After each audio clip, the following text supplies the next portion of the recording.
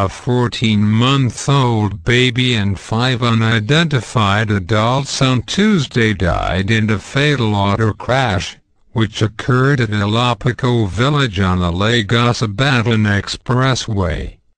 The Ogere unit commander of the Federal Road Safety Corps, Mr. Abdulrahman Sadeeq, who confirmed the incident, said four other persons were seriously injured in the crash which occurred at about 7.30 am. Sadeeq told the news agency of Nigeria on phone that the victims were traveling in a white Mazda bus marked Bayelsa XC 239 yen from Kano to Lagos when the bus skidded off its lane and rammed into a ditch at the village while attributing the crash to overspeeding and dangerous driving.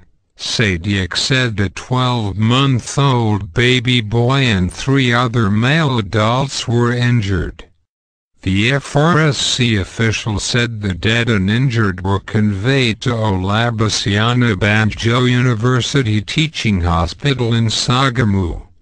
He also said the FRSC would prevent a gridlock from forming on the highway as a result of the crash.